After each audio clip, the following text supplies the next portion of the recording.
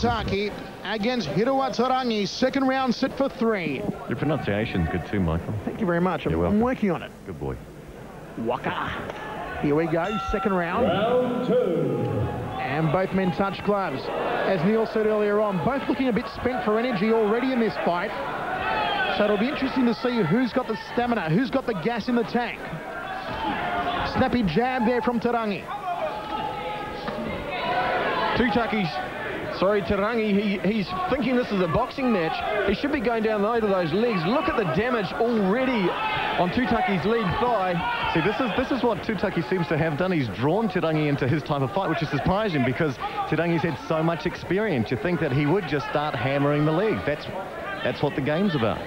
Oh, outside crescent kick there from Te Rangi. Outside thigh kick from Tutaki. Pops out the jab. Tutaki is there for the right hand of Te Rangi, throws it, but he's got to get busy, Te Rangi. He's got to get those legs working.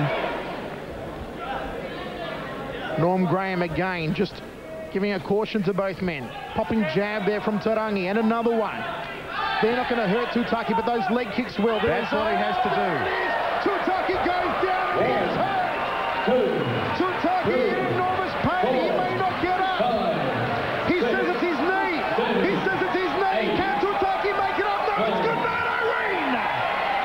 Yeah, he's in a lot of pain at the moment.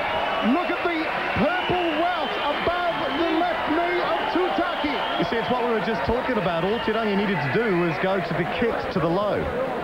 These boxers, he's been boxing professionally. He's not conditioned down low for the legs, and he wasn't checking. My knee. It's here, aye. It's all here. No, no. Dr. Choi is just checking. He's been around a while too, hasn't he, Mike? Dr. Che Dr. Choi is a stalwart of Your kickboxing. by TKO.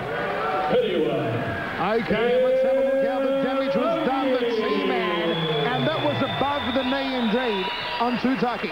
I think it twisted Tutaki's knee inwards, and you saw the huge bend in the knee. Would have ruptured the medial ligaments, ligaments inside the knee. And Tutaki was in genuine pain. He couldn't have got up from that.